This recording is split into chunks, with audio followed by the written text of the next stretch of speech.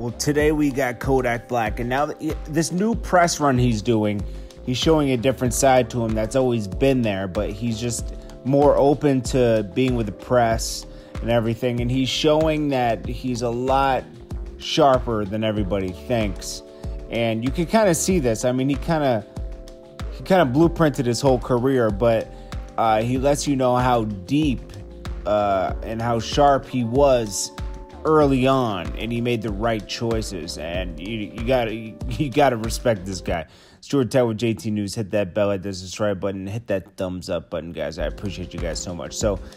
Kodak Black sat down with Wu Kid, and this is probably one of his best interviews. Yeah, I mean, the Breakfast Club was fun because it showed like, you know, like a comedy side to Kodak Black, which was cool. Like, you know, because we're just used to getting good music from Kodak Black, and he does shocking things. But he's showing more of his character in these interviews now. Like the one on Wu Kid, he showed how sharp he was early on in his career. Like Birdman wanted to sign him, right? and this had to be around like 2015, 14 or 15 when he started bubbling after No Flockin and everything. Birdman wanted to sign him, but this is around the same time Lil Wayne tweeted out and let the fans know that there was a problem, okay?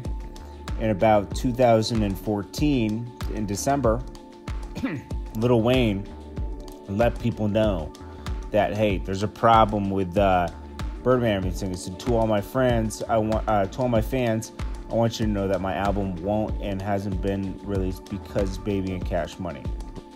Um, he said, "Why would I sign to Birdman when he's having problems with Weezy? Birdman offered me a few million, but I didn't take it because that's like."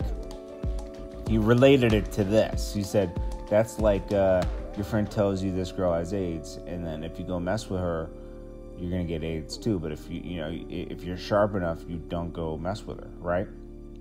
Now that's a harsh, very harsh comparison, but it uh it it makes sense because you know while if someone told me hey don't go over there they're they're stealing from you and go over there get stolen from you can't you can't play the victim anymore so uh anyways he didn't do that then he also talked about not signing to Boosie he said Boosie called him around that time and Boosie, like the first way he started the conversation was, "Yo, bro, I'm playing your mixtape in the Wraith."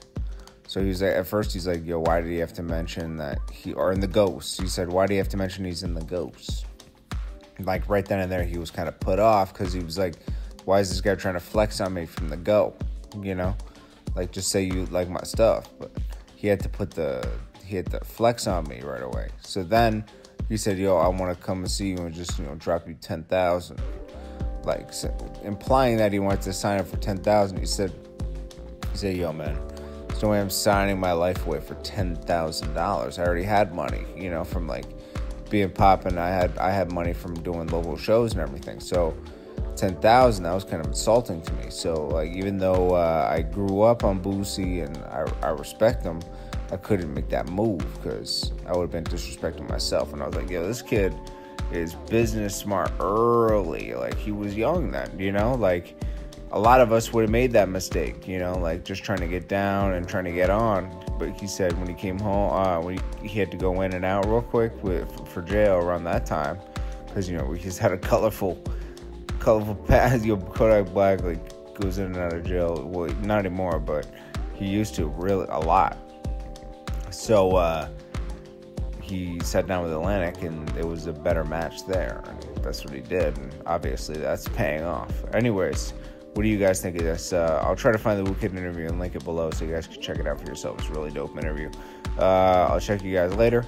Appreciate you guys. Hit that thumbs up button. I'll check you in the next one. Peace.